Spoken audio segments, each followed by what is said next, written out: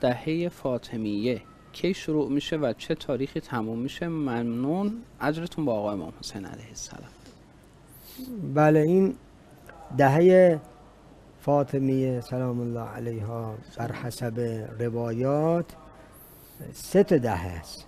سه تا دهه معروف بله. و مشهوره. روایت اول روایت چهر روزه. یعنی چهر روز بعد از شهادت آقا. رسول الله صلی الله علیه و آله و سلمه که این مصادف با هشتم ربیع ثانی تا دهم ربیع ثانی سه روزه. بله. هشتم نهم دهم ربیع ثانی. این فاطمیه اوله شروع فاطمیه اوله.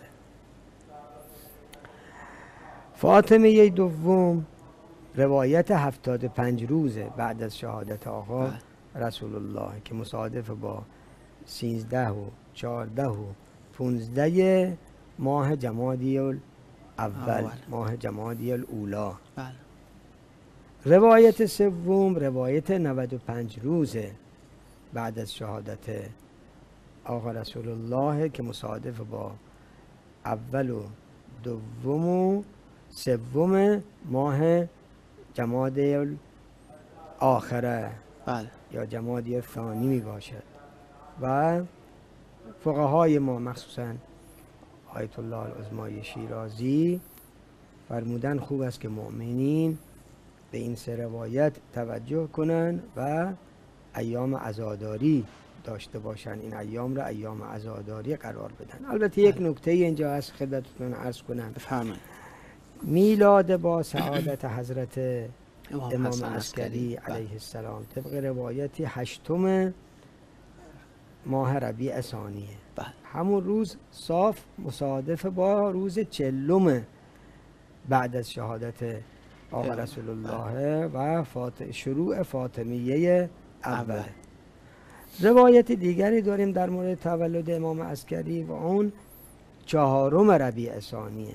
اگر بله. خوب می‌شد که ولادت را روز چهارم ربیع ثانی مؤمنین بله بهش توجه می‌کردند بله و روز چهارم را جشن سرور به. مناسبت حضرت امام عسکری علیه السلام می گرفتن و روز هشتم این آغاز فاطمه اول می شد که ادامه داشته باشد این هشتم تا سیزدهم ماه جمادی ثانی که پنج روز که این متصل بشد با روایت 45 روز چون بله. روایت هم داریم که حضرت زهرا علیه السلام شهید شدن چهل و پنج روز بعد از شهادت شهادت پدرش. آقا رسول. الله بنابراین از هشتم تا سیزدهم برای اینکه تمام این پنج روز شیعه ها عزادار حضرت صدیق سلام الله سلام باشند چه خوب می‌شد